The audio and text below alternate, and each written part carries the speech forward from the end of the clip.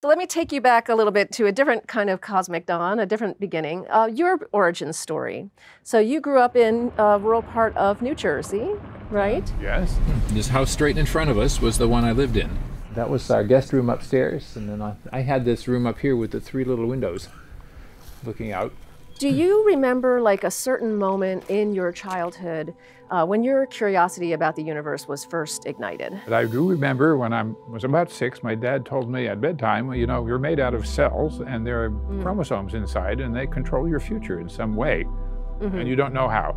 Then by the time I was eight, I was already aware of astronomy. Mm. Uh, we'd been to see the Museum of Natural History in New York City and the planetarium show, and I thought, this is pretty exciting. Did you have a telescope? Uh, eventually, I did. Uh-huh. In high school, I finally got my allowance together, and I bought a mirror from Edmund Scientific, and it oh was that goodness. big around. Uh-huh. And I bought some lenses, and I made some eyepieces, and uh, with cardboard and tubes and yeah. things, and and I made my telescope, so uh, I could see through it. Amazing. I still have it.